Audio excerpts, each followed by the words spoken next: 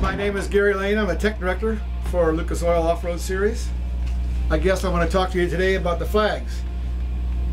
Everybody knows what this flag means. I think very few people that don't. It's the green flag, which the starter will wave at the start of the race. The next flag is our caution flag. We use the caution flag usually when there's an incident on the track that's not real serious.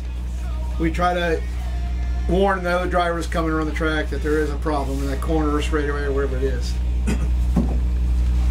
then we'll go to the move over flag.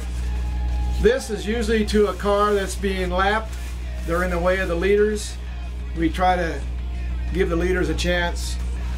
So we give the guys in the running in front of them, we usually give them this move over flag.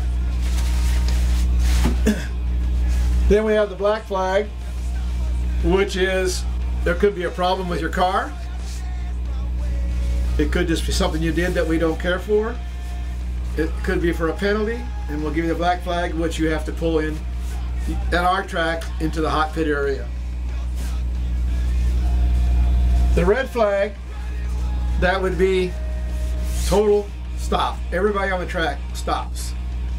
That's when there's really a serious problem and we don't feel it's safe to continue, so we do the red flag. Also on the red flag, we'll put the yellow flag with it. The yellow and red flag together waved this means it's a complete restart. Like on the start of the race, if something happens on the first lap, they'll restart the whole race. I think everybody knows what this one is. This, this means the last lap. One lap to go, it's the white flag. And of course, everybody knows what this one is.